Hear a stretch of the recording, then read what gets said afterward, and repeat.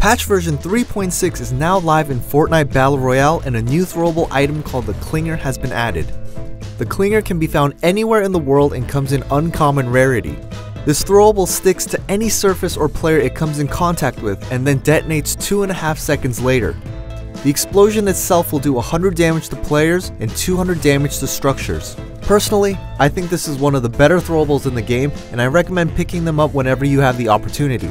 The minigun has also undergone slight adjustments in patch version 3.6 with a 10% accuracy increase and a 10% decrease in recoil.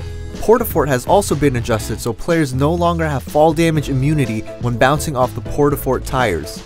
Although this feature has currently been disabled due to a bug, a self-service cosmetic return system has also been implemented in patch version 3.6. This system allows players to return up to 3 cosmetic purchases for V-Bucks. Emotes, gliders, harvesting tools, backbling, and outfits will all be able to be returned. That's the rundown in patch version 3.6. Are you guys enjoying the Fortnite content? Well, we've got some great news. We've launched a channel entirely dedicated to all things Fortnite and Battle Royale that you can subscribe to right now.